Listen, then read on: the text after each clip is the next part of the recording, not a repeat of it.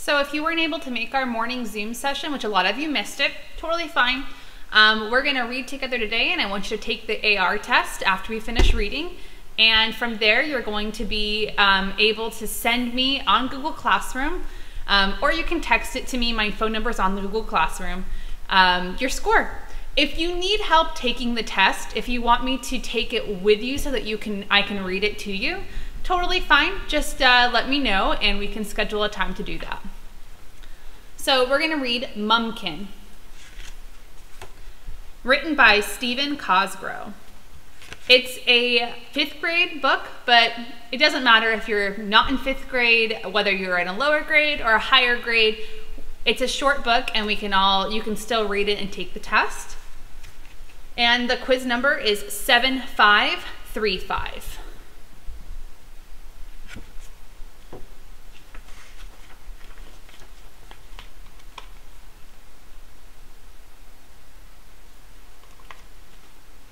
The morning mist swirled and twirled in the hesitant breeze that always blew just after the sun had risen.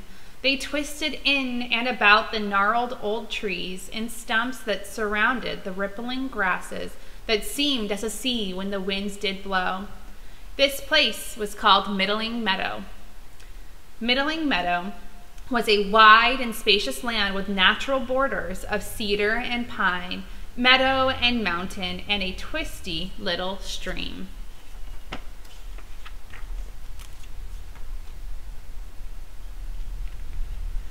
In Middling Meadow lived a herd of small horses who roamed freely from one side of the meadow to the other as they pranced and galloped about. For the land was open, and all the horses shared in all there was to share. Excuse me.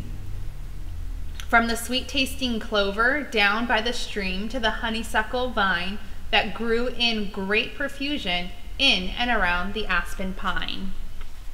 So to have a natural border means that you don't need a fence or a wall or anything. It just means that the trees and the mountain and the water all actually formed what would look like a fence or a wall.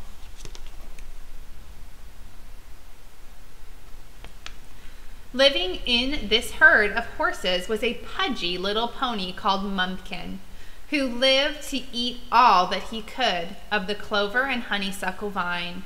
His flaxen mane rippled and flowed as he ran about the meadow in search of good things to eat. When he had eaten all that he could, he would drink deeply of the cold, sweet waters of the bubbling brook, then stand silent in silent slumber in a streaming ray of sunshine.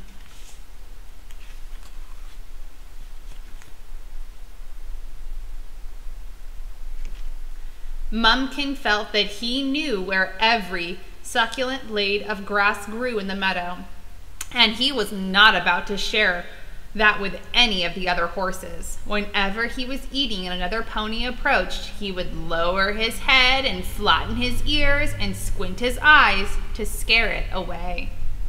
The other ponies usually squinted right back, unafraid, and meandered off to munch another bunch of clover or honeysuckle vine.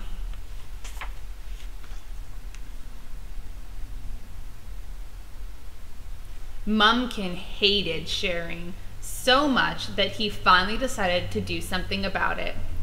With his strong teeth, he began to drag sticks and twigs, branches and boughs from the forest. Pulling and tugging, he built a border of thicket and vine around what he felt was the most luscious part of the pasture.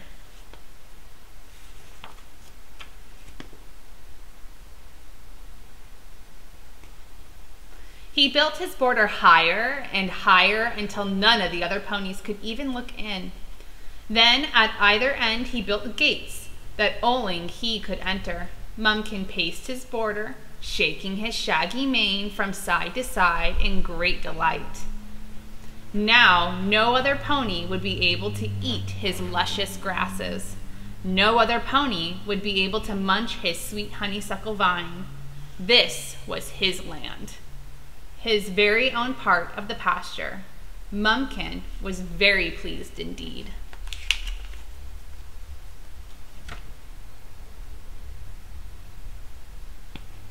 That night, bathed in sparkling starlight and beams from the bright silver moon, he slept in peace and tranquility. Well, almost slept, for he had to remain alert, just in case another pony attempted to cross his border during the night. Though none did, he could hear rustling outside the walls. Mumkin became so worried that he paced all night long, trying to see what was happening beyond his walls. But he could not see, he could see nothing at all. For you see, that bad thing about borders is that you have to build them so high that you cannot see beyond them. The next morning, Mumkin awoke just as the first rays of bright light stabbed their way through the border of thicket and vine. He looked quickly around to be certain no one had entered during the night. Sure enough, Mumkin was all alone. Every blade of grass was safe and his and his alone. He kicked his heels and reeled about his private land, spraying rainbow showers of morning dew. He nibbled a bit of breakfast, then decided it was time to dash to the stream for a drink of water. So after he made sure that his walls were safe and secure, he slipped through the border gate to go to the creek.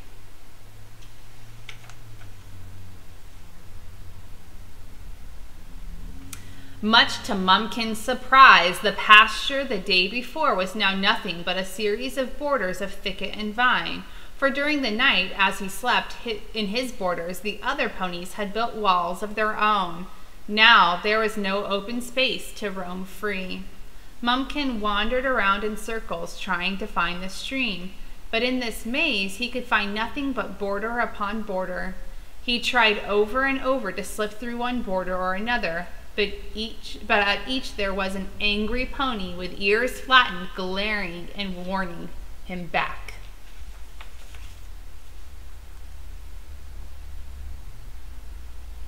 Amid the maze of borders, Mumkin could not find his own tiny land and was lost in the walls of thicket and vine. Round and around he ran, then walked between and through the borders until finally he found himself on the narrow trail that reached the very top of Middling Mountain. Certainly, he thought to himself, if I get high enough, I will be able to spy my own borders. But no matter where he looked, he could see nothing that looked familiar. Finally, he climbed to the very top of the mountain, to a place where even the clouds refused to go. Here he stopped to rest, for he was very, very tired. Mumkin looked down at all there was to see. He looked once, twice, then again, from for from the great height he could see none of the borders that he and the other ponies had built. As far as he could see, there was only the middling meadow, as it had been created, without walls, without borders. He stood there, looking for a long, long while, until the tears of regret for what he had done dripped slowly from the corners of his eyes.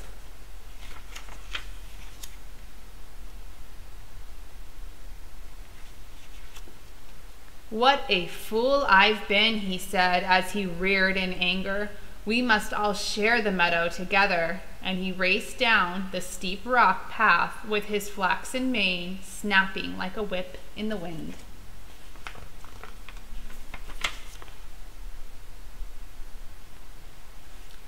Tears streaming down his face, Mumkin tore at his border of thicket and vine, scattering his walls into the wind. When the other ponies saw what he was doing, they too began to destroy the evil that they had created. Middling Meadow returned to the way it had been intended to be. Well, almost as it had been intended, for one gray, greedy mare had left her border walls. She continued to peer out nervously, afraid that someone might sneak into her section of the meadow and there she stayed as the others played, trapped by the fear of losing what she thought belonged to her alone. Tear down your borders of thicket and vine, creating a free world, yours and mine. The end. Um, so the book was pretty short. Uh, there's only there's only a few questions on the AR quiz, so go ahead and take the AR quiz, or if you want to take it with me, um, go ahead and let me know that you would like to schedule a time, and we can do a Zoom and um, or a Google Meet, whatever you prefer, and we can take the test together. Um, I hope that you're all doing really well, and I miss you guys, and um, I hope to see you on my next Zoom, which will take place on Thursday. So check the Learning Center Remote Minutes Google Classroom for more information. Okay, bye everyone.